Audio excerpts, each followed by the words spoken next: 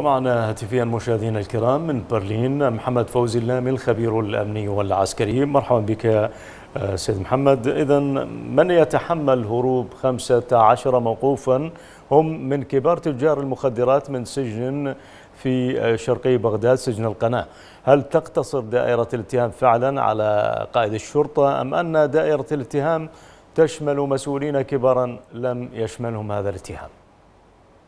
تحية طيبة لك سيدي والمشاهدين الكرام. حياك الله. يعني بالتأكيد سيدي العملية عملية تهريب واضحة وكانت عملية منظمة ومخططة مما يدل على أن هذا هؤلاء التجار المخدرات لديهم بالتأكيد أذرع طويلة في داخل الحكومة لديهم من يحميهم سواء كانوا خارج عندما كانوا في الخارج يمارسون عملهم واليوم عندما أصبحوا في قبضة القوات الأمنية، اليوم يخافون بالتأكيد من معلومات قد تصدر من من هؤلاء لارتباطاتهم بجهات سياسية، ارتباطاتهم بميليشيات. الأعمال ال ال ال تمويل هذه الميليشيات وتمويل هذه الأحزاب من خلال تجاره المخدرات، فبالضرورة لهذه الأحزاب أنه يخرج هؤلاء وتنتهي هذه الصفحة كي لا تكون هنالك تبعات أخرى. فمن يتحمل هذه المسؤولية ليس هو مجرد فقط مديرية الشرطة المسؤولة عن عن عن هذا مركز الشرطة، بالعكس المسؤولية كبيرة يعلمون جيدا بأن هؤلاء تجار كبار من كبار تجار المخدرات في العراق كان من المفترض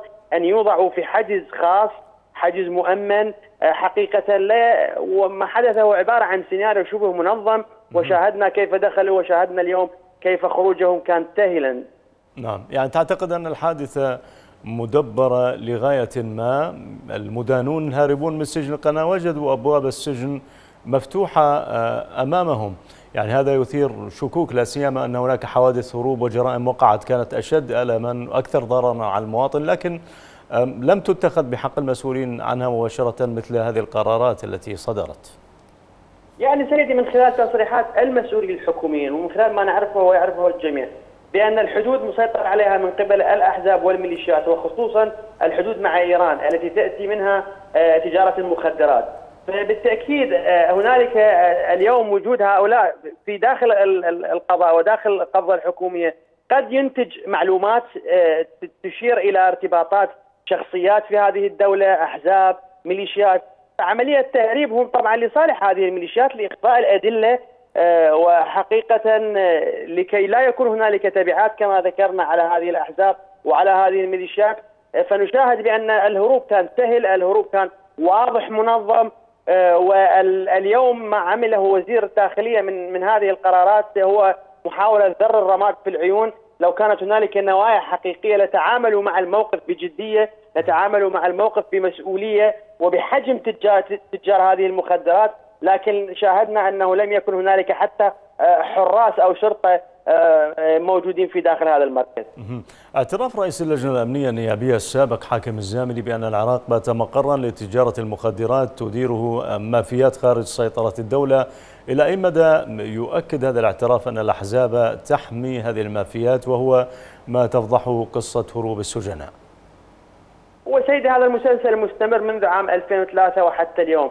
تجد بأن الحكومة هي التي تغطي العمليات الإرهابية وتدعمها تغطي عمليات تجارة السلاح عمليات تجارة المخدرات عمليات الموجودة العمليات الغير أخلاقية الروليت والصالات الليلية كلها تابعة لجهات حكومية ولميليشيات اليوم انتظمت في الحشد الشعبي. فهذا التصريح ليس جديد لكن هذه التصريحات تدخل من ضمن خانة ال ال عندما تحصل هنالك صراعات فيما بينهم ينشرون غسيل بعض. ولكن نحن سمعنا منذ سنوات واليوم نسمع أيضا بأن جميع الأعمال التي الغير قانونية والغير أخلاقية في العراق هي أعمال تديرها هذه الأحزاب وهذه الميليشيات وتشرف عليها.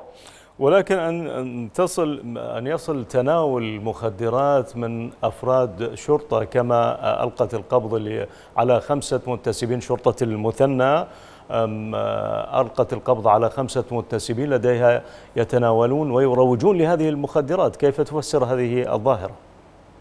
يعني سيدي هو بالأساس اليوم نحن نتعامل مع جهاز أمني وجهاز وجيش. اليوم نسبة كبيرة منهم ميليشيات. وخارجين عن القانون ومجرمين سابقين. لا توجد هنالك ضوابط وآلية لانتخاب الشرطي ولانتخاب الجندي. كانت هنالك سابقا فحوصات وحسن سيرة وسلوك. آه، لكن تجد اليوم بأن الميليشيات تغلغلت في هذه المؤسسات تجد اليوم هنالك ليس فقط من يتناول المخدرات. هنالك مجرمين هنالك من يغتصب هنالك من يقتل على الهوية هنالك من يسرق عمليات سرقة كبيرة حدثت في المحافظات التي دخلوها. فبالتأكيد سيدي نحن لا نتحدث عن جهاز أمني آه، نظيف وجهاز أمني مهني تم اختيار أعضائه بصورة مهنية. بالعكس آه، الطائفية تحكم والحزبية تحكم وهذه الميليشيات طبعا بالتأكيد هي التي تزكي هذه العناصر. قائد شرطة البصرة أكد سابقا أن 80% من المخدرات التي كانت تدخل المحافظة مصدرها إيران يعني عدم وجود أي قرار حكومي لحماية حدود العراق كيف سيؤثر في المجتمع العراقي؟